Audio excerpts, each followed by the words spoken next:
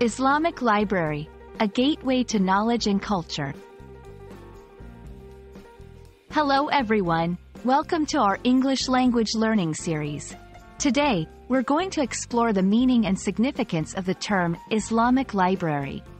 This topic is not just about learning new words but also about understanding a rich cultural and historical concept.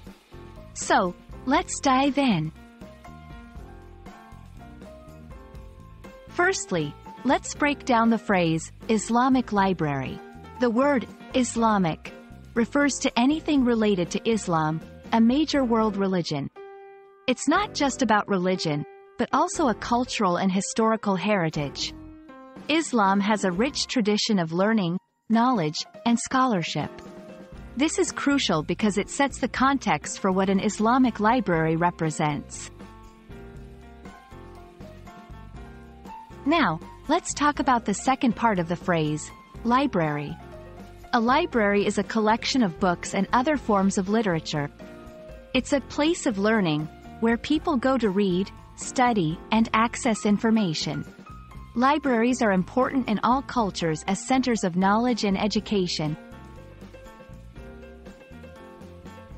Combining these two concepts, an Islamic library is a library that primarily focuses on Islamic texts, literature, and scholarly works.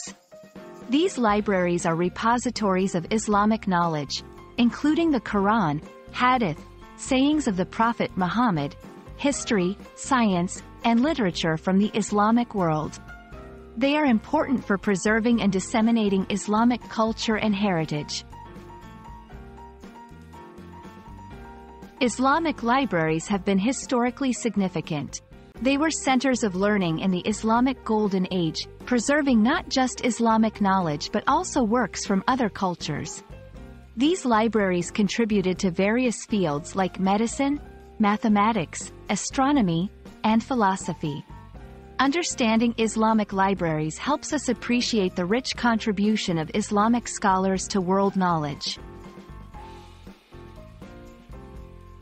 I hope this video has given you a deeper understanding of what an Islamic library is and why it's significant. It's not just about religion. It's about a rich cultural and historical heritage that has contributed greatly to human knowledge. Thanks for watching, and keep learning.